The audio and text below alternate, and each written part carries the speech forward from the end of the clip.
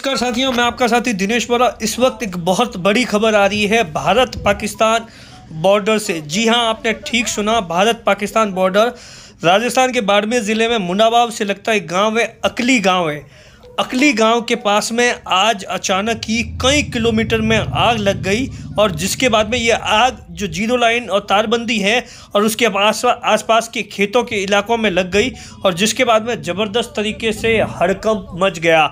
अब तस्वीरों में देख सकते हैं कि किस तरीके से आग चारों तरफ़ फैली है, जिसे बुझाने के लिए गाँव वाले लगातार प्रयास कर रहे हैं। कई घंटों से मशक्क़त जारी है और इसी बीच ये भी खबर है कि सीमा सुरक्षा बल और प्रशासन ने भी पूरा रेस्क्यू ऑपरेशन शुरू कर दिया है। ये आप तस्वीरों में देखिए, जहाँ तक भी आपकी नज़र जाएगी इसी तरीके से आग, चारों तरफ़ से आग ने जो यहाँ पेड़ पौधे थे, उसे बर्बाद कर दिया है। और जो ये तस्वीरें हैं, वो तारबंदी और ज़ीरो लाइन के पास की तस्वीरें हैं, जहाँ पर आप देखिए कई किलोमीटर तक आग फैल गई। जैसे ही इस घटना की जानकारी प्रशासन को मिली तो प्रशासन ने तुरंत सीमा सुरक्षा बल और गाँव वालों की मदद से रेस्क्यू ऑपरेशन शुरू कर दिया है। ऐसा बताया जाता है कि कई दर्जनों जो गाँव के ग्रामीण हैं वो इसको आग को काबू पाने के लिए लगे हुए हैं। बाड़मेर से भी फायर ब्रिगेड भेजी गई है। सीमा सुरक्षा बल के दर्जनों जो जवान हैं वो लगातार कोशिश कर रहे हैं कि किसी भी तरीके से आग को रोका जाए क्योंकि ऐसा बताया जाता है कि ये जो अकली गाँव है उसके आसपास काफ़ी घरों की बस्ती है। वहाँ तक आग ना पहुँच पाए। अब देखिए तस्वीरों में किस तरीके से पानी के, क्योंकि बॉर्डर का इलाका है, बहुत परिस्थितियाँ विषम होती है। वहाँ पर जिस तरीके की जब भी आग लगती है तो वहाँ पर फायर ब्रिगेड का पहुँचना बहुत मुश्किल होता है। तो गाँव वाले खुद की मदद से ये देखिए किस तरीके से आग पर, अपनी जान पर, खेल पर आग पर काबू पाने की कोशिश कर रहे हैं। ये तस्वीरें अकली गाँव की तस्वीरें हैं और इसके बाद में उपखंड अधिकारी शिव, ये देखिए दूसरी तरफ़ यहाँ आग लग रही है। उपखंड अधिकारी शिव के साथ में तहसीलदार गुड़ामलानी और पुलिस का जो जाप्ता है वो वहाँ पर पहुँचा है और यहाँ से अभी प्रशासन को भेजा गया है ताकि किसी भी तरीके से आग पर काबू पाया। क्या कुछ कहा प्रशासन के अधिकारियों ने? सुनिए। बॉर्डर से आगे से आई है।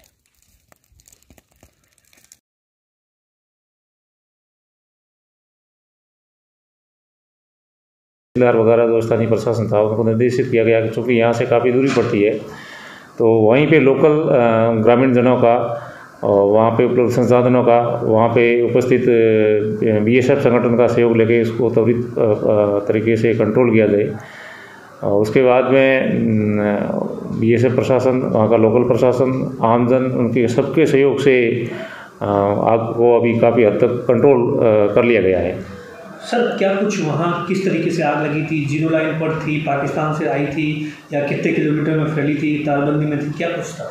ये मुनाबा बॉर्डर के पास में कोई आकली करके गाँव पड़ता है तो उस आकली गाँव में अपने इंडिया से टूवर्ड द ज़ीरो लाइन जैसी सूचना मिली है, इधर गाँव से उस तरफ़ इसका, आग का एक्सपेंशन हुआ था प्राथमिक कांड तो अभी उसको पता नहीं चला भाई आग लगने का क्या कांड था लेकिन ज़ीरो लाइन और जो इंटरनेशनल बॉर्डर है जो फेंसिंग वेंसिंग है वहाँ तक आग नहीं पहुँची उससे पहले ही उसको कंट्रोल कर लिया गया है।